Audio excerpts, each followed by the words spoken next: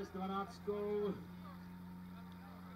Za malý okamžik máme tedy tady dva týmy v kategorii mužů s touto slabší mašinou a pak eh, dokončíme ten útok, který byl plánovaný v těch silnějších mašinách velké ceny Cebolinská dobrou halámky. Závodníci, na místa, připravte se.